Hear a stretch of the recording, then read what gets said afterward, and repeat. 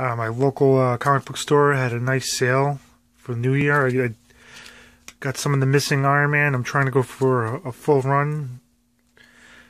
I got uh, pretty good. They were 50% uh, off the back issues.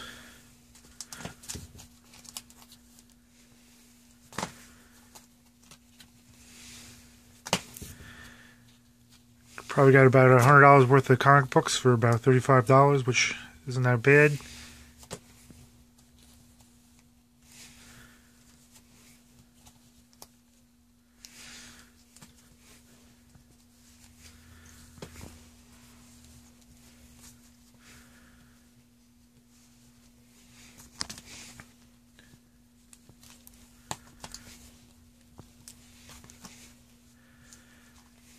Pretty much just missing a lot from probably 10 to 50 right now, and obviously 55.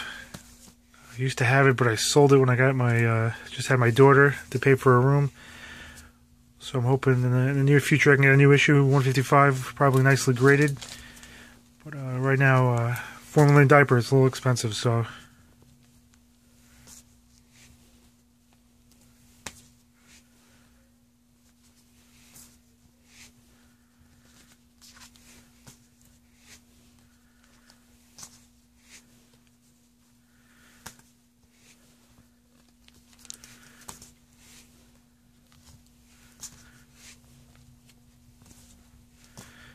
that's pretty much it for my haul for uh, the, the, remaining Iron Mans that I need.